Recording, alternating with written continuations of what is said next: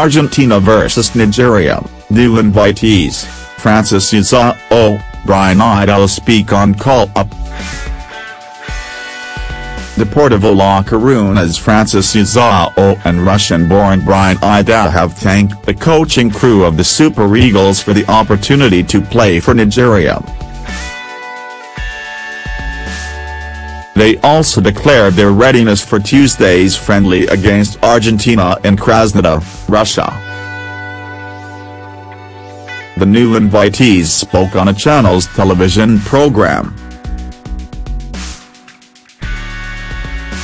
Uzoho said he was happy to be in the team and ready to take his chance.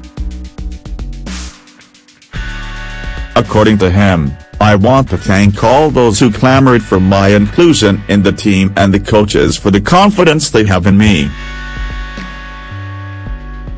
I'm here to learn but I'm also ready to do my best if given the opportunity to do so.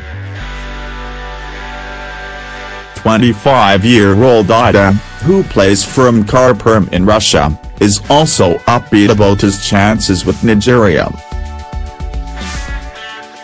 He said, it's nice to join up with the team and I want to give my best if I get the chance to play. I want to do well for Nigeria and repay the faith they have in me.